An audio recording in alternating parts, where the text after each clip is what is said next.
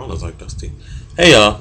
So I want to know, and if you have an explanation, please feel free to explain it to me because I don't get it. How in the hell do celebrities end up in jail for not paying their taxes, or all this legal drama surrounding um, Lauryn Hill's the most recent one to be arrested for. Well, she's not arrested yet if somebody paying other people bills, I want to sign up. I cannot. Um, what was I telling y'all about the the people, the the taxpayers?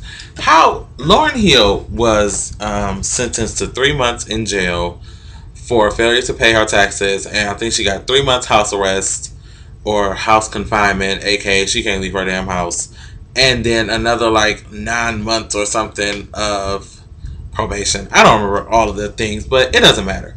I want to know. Lauryn Hill at one point was like the highest grossing female artist in history, meaning the miseducation of Lauryn Hill is still fucking selling albums.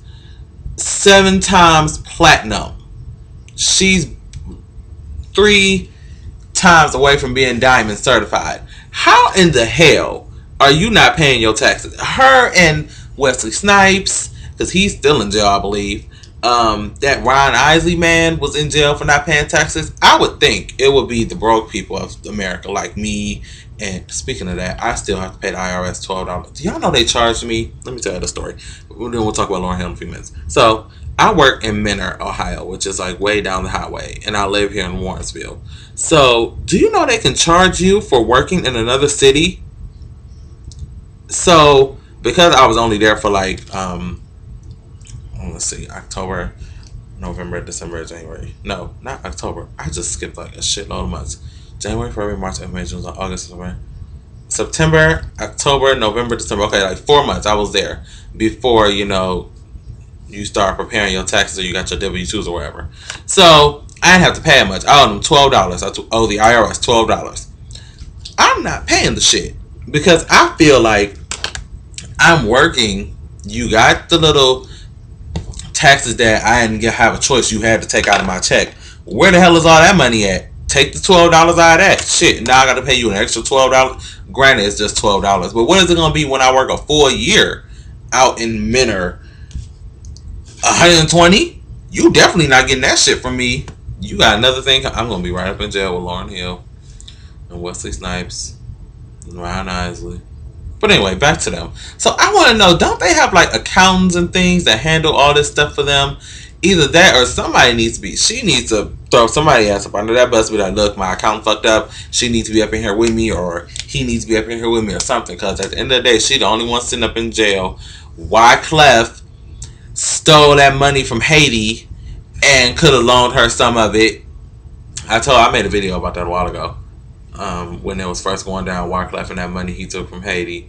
I knew it was some suspicious. That's why they ran him out of that, that, that um, country because he was stealing their damn dineros. But yeah, he could have gave us some money, and I, it really annoys me when celebrities this happens to them. Like y'all don't have wealthy friends. Y'all have wealthy friends that could have loaned you a couple of coins, or you need to go on a tour or something, or write an album. Well, maybe this is some good downtime for her, and she can go and you know do some writing, some self evaluating, and maybe she'll come out with like the Miseducation of Lauryn Hill part two, and it'll like sell like bananas like the first one did. Then she'll be fine. She'll be back where she needs to be, and if she grows her locks back, that would just be everything. I would I would live if Lauryn Hill just was the Lauryn Hill from Sister Act. If you want to be somebody, if you want to go somewhere, you better wake up and pay attention. Give me that Lauryn Hill. I'm down for it. So let me know. Lauryn Hill's going. To, I think they said she doesn't have to report to jail until July eighth, I believe. So she got a few weeks, maybe a month, month or so to get right with God and do it now. She gets. She has time to get right with God before they put her in her orange. So. Let me know what you guys think about Lauryn Hill and her um, recent activities, if you will, or well, I guess lack thereof activities.